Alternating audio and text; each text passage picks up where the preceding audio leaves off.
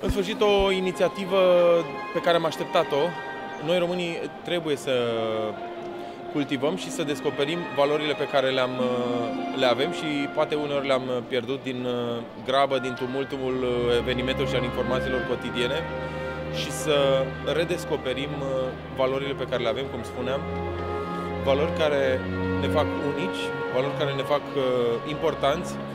un film în care e binevenit și pe care îl apreciez foarte mult chiar uh, vreau să văd și să mă implic în tot ce înseamnă promovarea lui și dezvoltarea lui dincolo de,